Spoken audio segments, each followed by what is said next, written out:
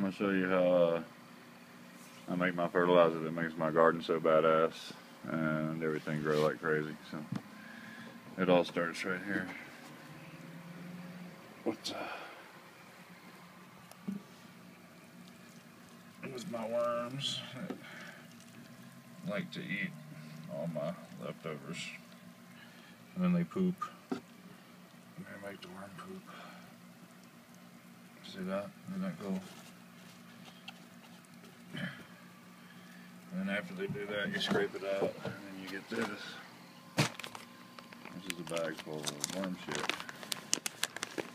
It's rich. And then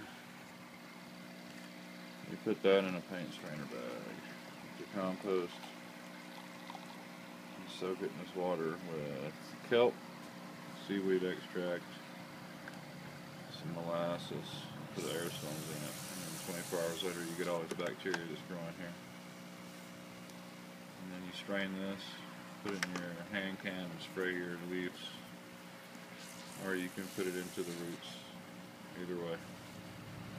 But that's called worm tea and uh, you can't go wrong with that man. Try it out.